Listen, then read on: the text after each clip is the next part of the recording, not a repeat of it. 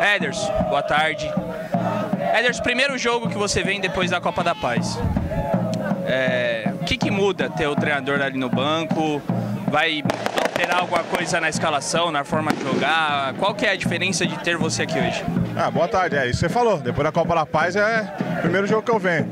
Na verdade, eu jogo de uma, eu tenho uma forma de jogar, não critico quem estava escalando anterior.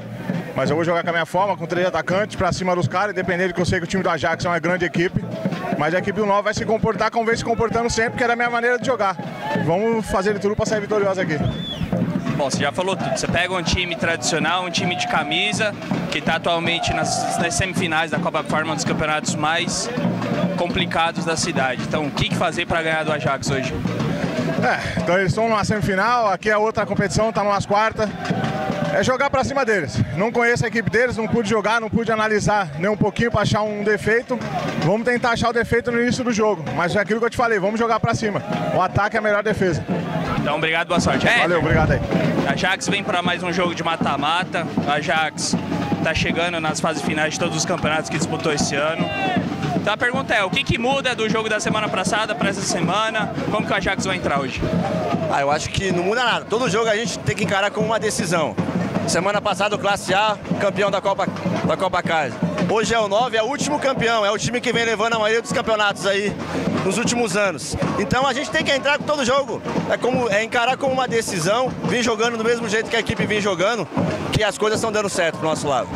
Contra o Gangster, vocês conseguiram fazer 2 a 0 antes dos 10 minutos de jogo e facilitou muito. Depois o time se retraiu e jogou posicionado. Você acha que se não conseguir o gol cedo hoje, o que fazer para poder ganhar o 9 de julho? É, foi uma coisa inesperada, né? Fazer do, dois gols no começo do jogo, ainda mais uma equipe como o Gangster, é inesperado. A gente sabe que isso não vai acontecer todo jogo. Então a gente entra sempre é, no começo do jogo estudando a equipe adversária e tentar aproveitar as oportunidades. Se a gente conseguir fazer um gol no, no começo do jogo, já dá uma tranquilidade maior, tranquilizar, é, mais cadenciar mais o jogo e, e tentar jogar, explorar o contra-ataque também até uma próxima.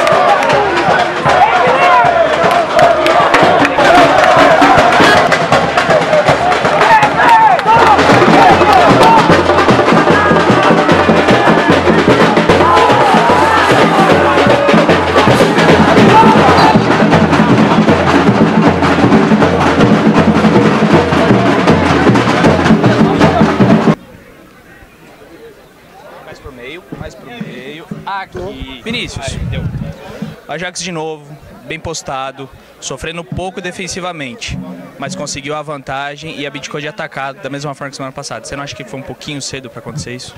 Eu acredito que é, é até inconscientemente, é natural. A gente não consegue jogar o tempo todo abafando o time lá na frente. Apesar que o nosso único erro, acredito eu, é que quando nós estamos com a posse da bola, em vez de nós ficarmos forçando o passe, devemos se respirar um pouco mais, trabalhar um pouco mais a bola, para que assim possa dar tempo do nosso time sair um pouco mais de trás, ficar um pouco mais compacto e não sofrer um pouco como, eles estão atacando a gente. Então, além da postura, o que, que mudar no segundo tempo para poder ser um pouquinho mais agudo? Eu acredito que para nós continuar sendo um pouco mais agudo, devemos continuar com a posse de bola, que nós sofremos menos e assim com a, com a bola no pé, com o nosso time na qualidade que nós temos, nós conseguiremos ser mais agudo e sofrer menos no contra-ataque, como nós temos Mas o contra-ataque da Ajax bem armado. Semana passada conseguiu dois gols no segundo tempo contra o Mil Graus desse jeito. Lá na Arena Bifarma também foi muito bem contra o Classe A dessa forma. Querendo ou não, é uma arma que o Ajax tem. Sem dúvida. A característica dos nossos jogadores, principalmente do meio para frente, são jogadores rápidos, leves. E é isso que facilita nós jogarmos no contra-ataque. Quando o time adversário pensa que está dominando o jogo, com a posse dominada, um roubo que nós damos, com a qualidade que nós temos, conseguimos chegar bem Obrigado, na frente. Boa sorte. Obrigado, querido. Tchau, tchau. Cauê, um buraco no meio de campo, a marcação afastada. Por que um primeiro tempo tão ruim do 9 de julho? O jogo não encaixou, Lucas. Tentamos ali as oportunidades, tivemos, tivemos cinco chances para tentar fazer o gol, estamos um pouco longe. Vamos tentar se compactar mais agora no segundo tempo para tirar os espaços. O Ajax fez 1 a 0 e sentou em cima da vantagem. Retraiu o time, fechou a casinha e ficou ali administrando o, resultado. Nem assim o 9 de julho conseguiu colocar a bola no chão e trocar passes, que é uma das características da equipe. Por quê? Acabou levando 1 a 0 acabou indo no desespero, tentando na bola mais longa, tentar chegar mais próximo à área o quanto antes. Mas corrigimos lá, o professor Edson passou as orientações certas para nós. Vamos empenhar dentro de campo e assim, jogaram por uma bola, fizeram um gol numa falha nossa. E aí acabaram fazendo 1 a 0 mas tem muito jogo pela frente agora no segundo tempo e vamos procurar empatar e virar esse jogo. O problema é só a postura? Também, acho que a postura é o principal. A postura tem que ser mudada. Com a postura você muda a técnica, muda a tática. Acredito que é a palavra certa para esse momento. Então, obrigado, boa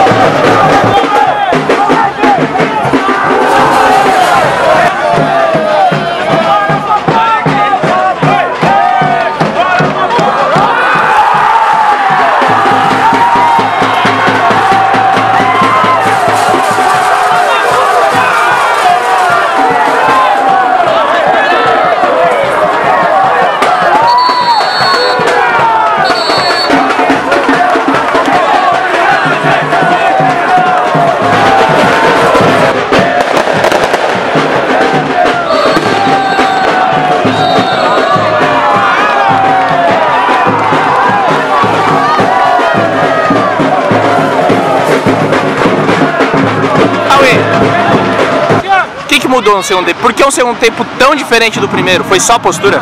Postura, Lucas. Falei pra você, postura que nós entramos no primeiro tempo. Acho que não, não tínhamos ainda nos liga, é, se ligado no jogo e aí conseguimos fazer o resultado no segundo tempo. Repito, mudamos a atitude, porém já mudou a técnica, taticamente. E aí, está aí com méritos, vencemos o jogo, respeitamos o adversário o tempo todo, mas saímos com resultado positivo. Então, parabéns, boa sorte, Cauê. Lucas, mais uma vez obrigado pela força aí e tamo junto mesmo. Obrigado mesmo, cara. Forte abraço.